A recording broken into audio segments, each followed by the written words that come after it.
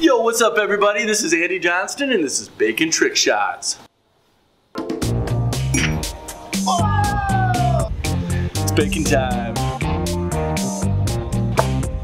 So next one, the blindfolded Baconator.